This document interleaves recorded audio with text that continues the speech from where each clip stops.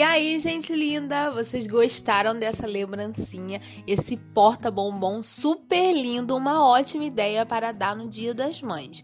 Com certeza as mamães vão amar receber esse, essa lembrancinha. Bem, gente, esse foi o vídeo de hoje. Espero que vocês tenham gostado do vídeo. Se você gostou, deixa aquele like, comenta aqui embaixo que gostou do vídeo, compartilha esse vídeo nas suas redes sociais, com certeza o pessoal vai amar fazer essa lembrancinha. Fiquem com Deus, beijocas, tchau, tchau!